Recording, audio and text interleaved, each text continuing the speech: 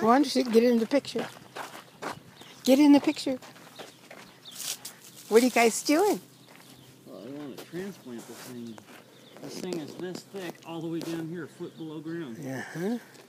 And it has about as much on the bottom of it as it does on the top.